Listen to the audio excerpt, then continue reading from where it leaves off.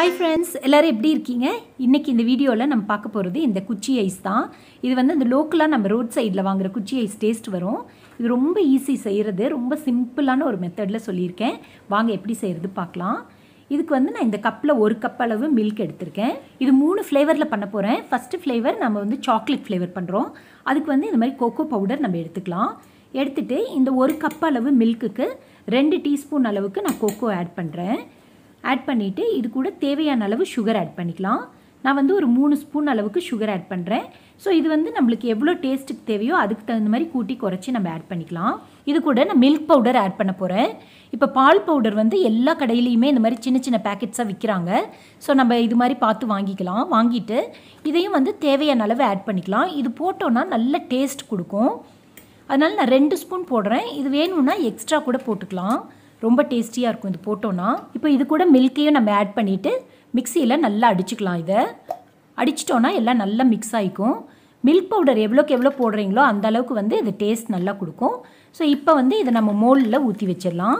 இது மாதிரி மோல்டு வந்து ஆன்லைனில் நிறைய ஷேப்ஸில் கிடைக்குது. எந்த மாதிரி ஷேப் பிடிக்குதோ அது மாதிரி நீங்கள் பார்த்து வாங்கிக்கலாம். இப்போ நம்ம ஃபஸ்ட்டு சாக்லேட் ஃப்ளேவர் பண்ணியாச்சு. மீதி இருக்க மில்கை வந்து நம்ம சாக்லேட் மில்க் மாதிரி குடிச்சிக்கலாம் ஃப்ரிட்ஜில் வச்சு. ஸோ இப்போ அடுத்தது வேறு ஃப்ளேவர் பண்ண போகிறேன் அதுக்கு என்ன தேவைன்னு பார்க்கலாம் வாங்க. அடுத்தது வந்து நான் இந்த பாதாம் மில்க் மிக்ஸ் இதை போட்டு தான் பண்ண போகிறேன் இது போட்டு பண்ணோன்னா அவ்வளோ டேஸ்டியாக இருக்கும்.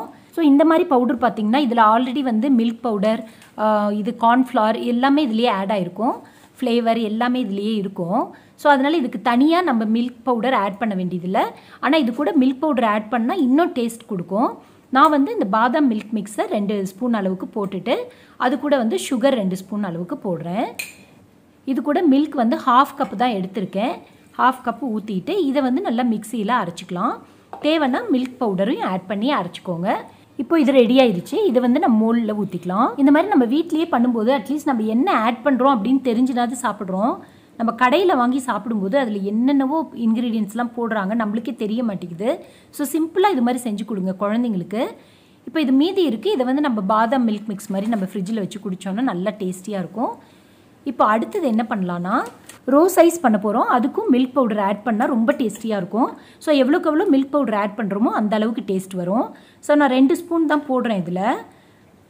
போட்டுட்டு அது கூட தேவையான அளவு சுகரையும் ஆட் பண்ணிக்கலாம். நான் வந்து ஒரு ரெண்டு ஸ்பூன் அளவுக்கு சுகர் ஆட் பண்ணுறேன் அவ்வளோதான் மில்க் வந்து ஒரு ஒன் ஃபிஃப்டி எம்எல் ஒரு ஆஃப் கப் அளவுக்கு நான் ஆட் பண்ணுறேன் ஆட் பண்ணிவிட்டு இதில் வந்து நம்ம ரோஸ் எசன்ஸ் விட்டுக்கலாம். அது ரோஸ் எசன்ஸ் அப்படின்னு கிடைக்கும் இல்லையா? அது வந்து கடையில் வாங்கிக்கோங்க. இது ஒரு ரெண்டு சொட்டு விட்டால் போதும். ரொம்ப விட்டுட்டா நல்லா இருக்காது. ஒரு கசப்பும் வந்துடும் ஸோ அதனால் நான் வந்து கரெக்டாக ரெண்டே ரெண்டு ட்ராப் தான் விடுறேன் இதில். இப்போ வந்து ராஸ்பெரி ரெட்டுன்னு இந்த கலர் போட்டால் தான் வந்து அந்த பிங்க் கலர் வரும் அதில். ஸோ அதுவும் வந்து ஒரு ரெண்டே ட்ராப் தான் நான் விட போகிறேன் ஃபஸ்ட்டு ஒரு ட்ராப் விட்டு நான் பார்க்குறேன் எப்படி இருக்குது அப்படின்ட்டு. தேவைன்னா இன்னும் கொஞ்சம் கலர் ஆட் பண்ணிக்கலாம். நான் வந்து தனித்தனியாக எசன்ஸையும் கலரையும் தனித்தனி தான் ஆட் பண்ணுறேன் ஆனால் வந்து கடையில் வந்து ரோஸ் மில்க் எசன்ஸ்னே கிடைக்கும்.